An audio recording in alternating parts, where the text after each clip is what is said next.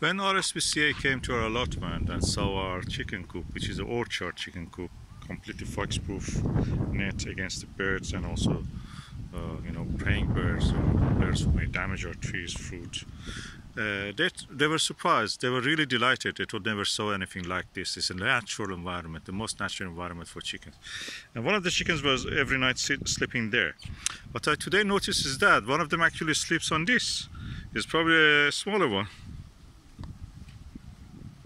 and you can see the chicken poo here.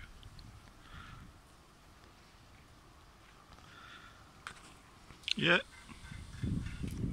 The bird poo on this branch also. Chicken they're staying here.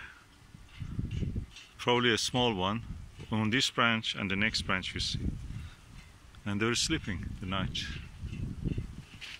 It's interesting we had a storm last night. It's just they don't care about the storm at all. Funny enough, isn't it?